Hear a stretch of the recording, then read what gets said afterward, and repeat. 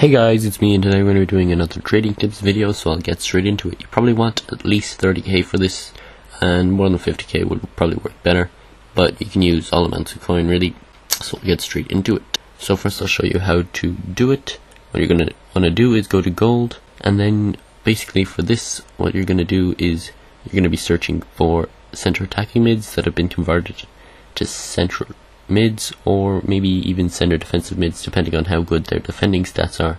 So you're probably going to be looking for players such as Steven Gerrard, Frank Lampard, Modric and lesser known players such as Menez, Gourcuff, Eduardo and people like that. So what you can do is go to the ultimate database and then when you're there go to search center attacking mid position and usually I like to put in a bit of pace so 75 say and 75 shooting there are players with less pace that are popular too, such as Lampard, as I've mentioned, but the vast majority of these cams that are being converted are probably going to be these ones, which are with a good bit of pace and shooting. So you can see any of these players here really, most of the players under 10k work well, the ones over 10k work well too.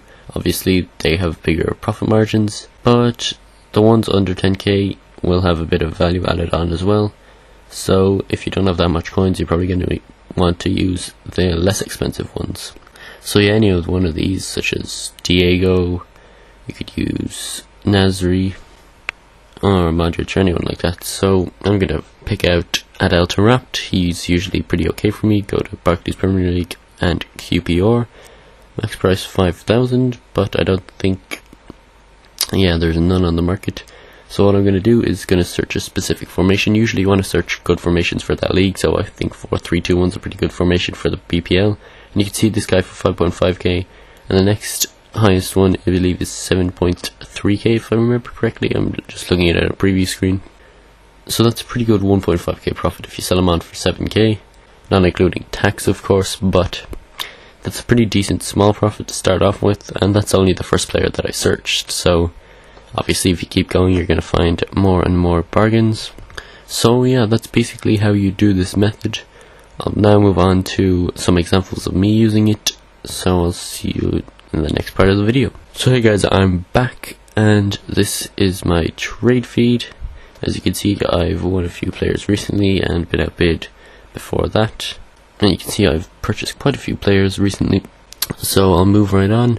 And in the watch list you can see I have a couple of players that I can't sell at the moment because I've still got bids on them. And you can just ignore these Adebayor, Mandanda and Munats because they're not part of this video. So first up we have the second name for Belhanda and I could probably sell him on for about 20k because he was converted from a cam position and I do believe I sell him on for about that later on. And we've got a few Modric's there, Schneider, Schweinsteiger, and I've got quite a few Gerrards. I found quite a few of these guys for cheap and you can see quite a cheap price there. And in CDM Gerrard works well in most positions on the field apart from say striker because he's got pretty good all-round stats. Got a Nasri, a Pastore, a Götze, a Kagawa in a center defensive mid position. Picked him up for pretty pretty cheap 2.6k I believe which is about what the normal version is almost going for now or the Borussia Dortmund version is I believe. So you've got Menez, Gourcuff, Eduardo, Honda, and you can see the Liga and the Russian league are pretty great for this tactic because they have quite a lot of cams that people want to use, such as Honda, Danny, and Menez, and you've got a Adel Taarabt picked up for cheap, and a Lamela. Wasn't sure about this guy, and I don't think I'll be able to sell him on for much more, to be honest. But I'll move on. So here are the sales, and you can see uh, quite a few players have sold. Sold that Belhanda on for 90.5 and sold a couple of Modric's on for just under 15k, Schneider for just under 19, and you can see I'm making quite a decent profit on most of these players. Usually I aim to make at least 2k, and better deals would usually make me about 4k. So if you fill up your trade pile with pretty good deals that say give you about 3k profit including tax, that will net you just under a 100k profit, which is a pretty sweet profit for about 40 minutes training you can do this in. That's usually how long it takes me to find pretty good deals. And I believe in this session I've probably made about 60k approximately. I'm waiting for a couple of cards to sell. This Kevin Prince Boateng, he's sold just there. So another 6. Gerrard in a poor formation, Gourcuff in an unpopular formation for the league 1.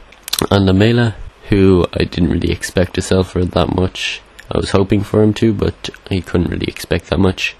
So I think I'm going to have to lower the price on him. But yeah, this technique works really, really well for me. And hopefully, hopefully it's given you a few ideas on how to trade better. So yeah, I hope you've enjoyed this video. Please leave it a like if you did. And apart from that, I will talk to you all next time.